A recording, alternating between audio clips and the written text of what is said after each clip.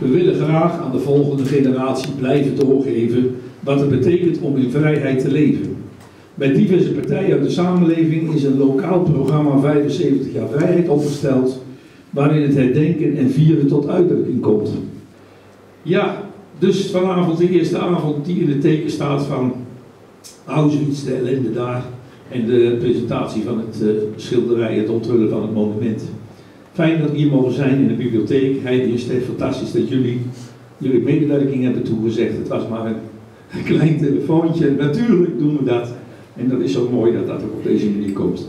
Ik ben uh, heel erg benieuwd naar jullie verhalen. We zitten allemaal op een puntje van onze stoel. Mensen die het met volwassen ogen hebben gezien zijn al dik in de 90. Sommige overlevenden hebben er zelfs een levenswerk van gemaakt om zoveel mogelijk mensen te vertellen over wat ze hebben gezien en hoe ze hebben geleden. Vaak ook met, met gevoelens van uh, plichtbesef, waardoor ze zich hebben geroepen gevoeld om deze getuigenissen te moeten blijven delen. Wat betekent het begrip vrijheid voor jou persoonlijk? Vraag je dat jezelf wel eens af. Ik heb wat citaten van mensen verzameld die uitleggen wat vrijheid voor hun betekent. Een voorbeeld is Beertje, zij is 28. Voor mij betekent vrijheid gelukkig zijn. Ik vind dat mensen best wel eens wat meer stil mogen staan bij de vrijheid die we hebben. In Nederland hoor je vaak mensen klagen en zeuren dat we, super, dat we het hier super goed hebben. En sinds ik geen vaste baan meer heb, sta ik steeds vaker stil bij mijn vrijheid.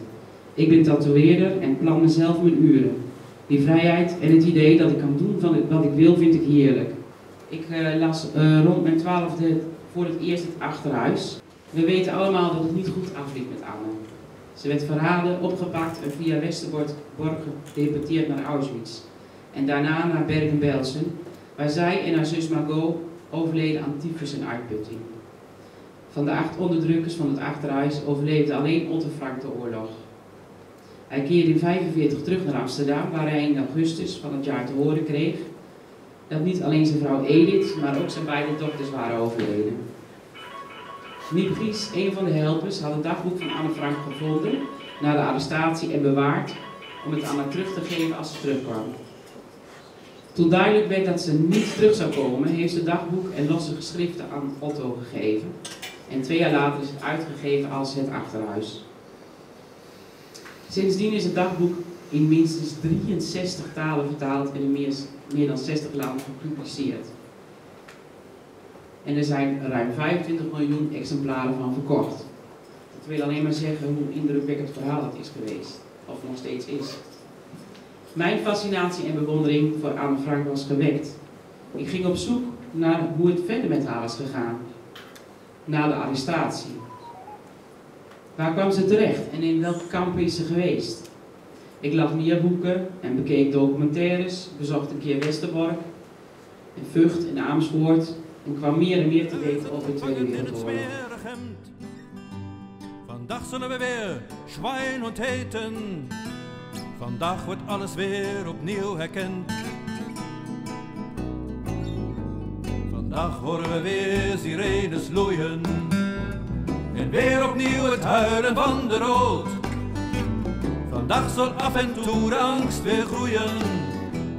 Vanavond staat de hemel weer op rood.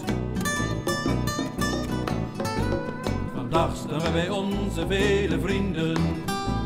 Die deze hel niet hebben overleefd. En vragen ons af waarvoor dit alles diende. Het is daarna nooit vrede meer geweest. moesten we deze bloemen geven. Mijn grootste werk ooit, wat ik gemaakt heb. En uh, de reden dat ik het gemaakt heb, die ligt eigenlijk in het uh, begin van mijn kunstcarrière.